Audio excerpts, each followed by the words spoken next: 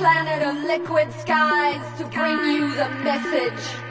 Come closer to the speakers so I can see the light in your eyes.